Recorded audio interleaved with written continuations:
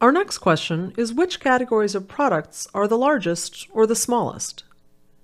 I could launch a new instance of Graph Builder from the Graph menu, but since I've saved the script to recreate my scatterplot, I can just start over in the existing Graph Builder window.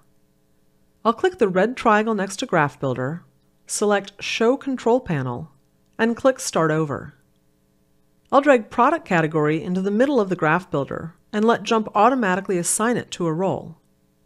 JMP assigns it to the X role, creating a scatter plot with the points in each category jittered randomly in both the X and Y directions. But this is a categorical variable, so a scatter plot isn't the type of graph I want to use. I'll use the element type icon to change it to a tree map. A tree map displays each level of a variable as a rectangle whose size is proportional to the number of items in the category. The rectangles are also color-coded.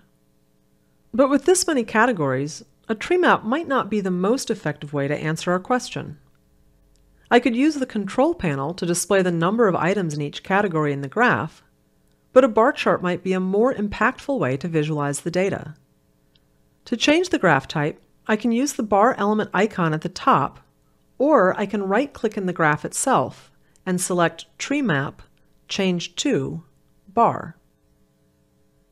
The advantage of the right-click method is that I can change the graph type even if I've already clicked Done.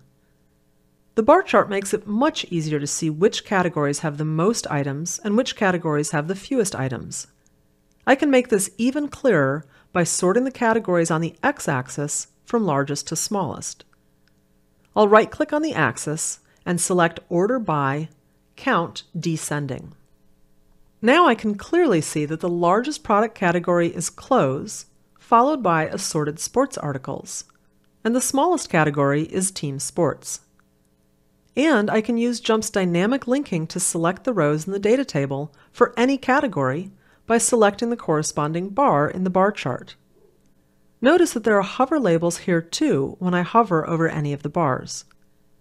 To deselect the rows in a bar chart or scatter plot, I can simply click in a blank area of the graph.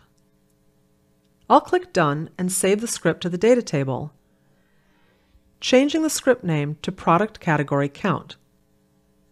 Then I'll close the Graph Builder window and save the data table.